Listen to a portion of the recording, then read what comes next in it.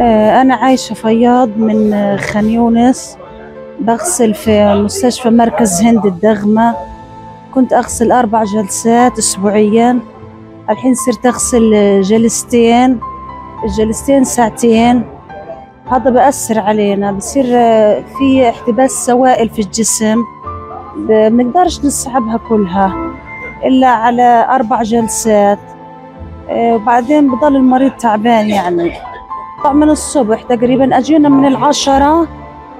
إحنا نازحين هان في منطقة دير البلح أجينا من الساعة عشرة تقريبا شبكنا على الساعة ثلاثة ثلاثة ونص.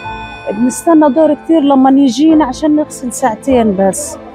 قبل كان متوفرين عدد الساعات أكتر وكنا مرتاحين أكتر وكنا نغسل أكتر.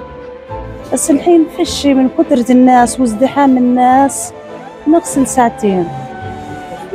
لا ما بكفوا بضل المريض تعبان بضله هفتان بعدين السوائل بقدرش يسحبن كلهن إلا مثلا يعني أربعة كيلو على اثنين ساعة على ساعتين بس. بنموت خلص